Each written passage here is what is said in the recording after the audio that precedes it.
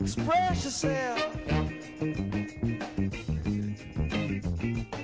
You don't never need help from nobody else.